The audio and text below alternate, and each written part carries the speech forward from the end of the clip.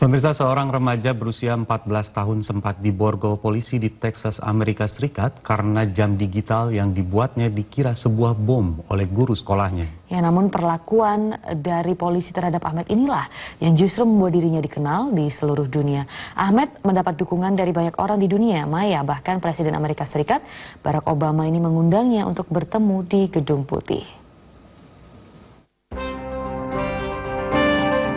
Ahmed Mohamed siswa SMP MacArthur High School, Texas, Amerika Serikat tidak pernah menyangka kreasinya membuat ia ditangkap dan diinterogasi polisi.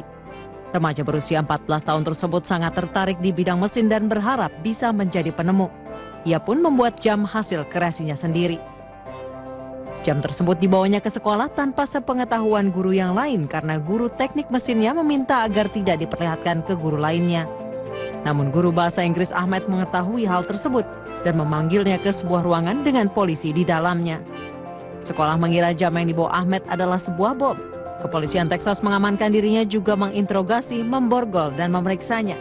Padahal jam yang dibuat Ahmed murni sebuah jam, bukan bom seperti yang ditakutkan. It's a clock to impress my teacher, but when I showed it to her, she thought it was a threat to her. So, so it was really sad that she took a wrong impression of it, and I got arrested for it later that day.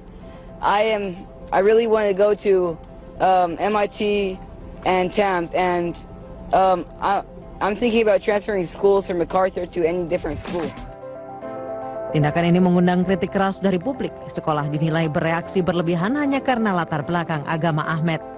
Dukungan terus berdatangan untuk Ahmed. Bahkan Presiden Barack Obama justru mengundang Ahmed ke White House sambil membawa jam buatannya.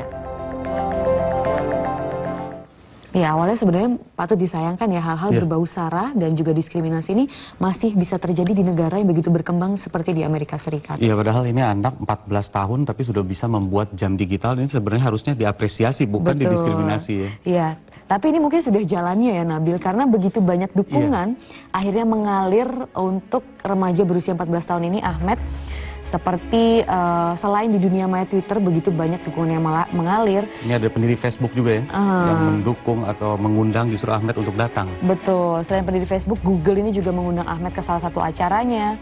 Kemudian bahkan Twitter ya, ini Iya. meminta Ahmed nanti untuk magang di Twitter. Luar Di biasa Twitter, sekali kan iya. kesempatan yang diberikan.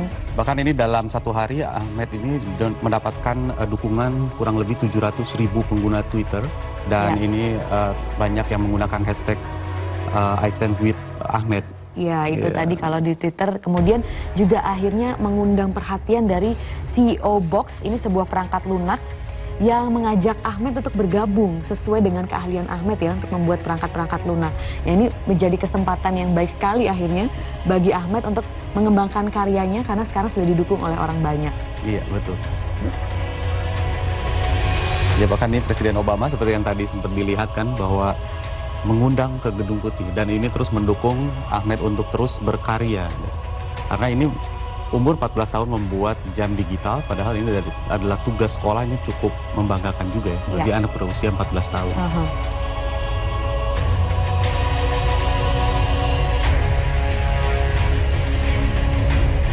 Ya itu tadi wajah bingung Ahmed ya mungkin saat diborgol pertama kalinya. Dan justru ini foto yang membuat Ahmed ini mendapatkan banyak dukungan. Betul, betul.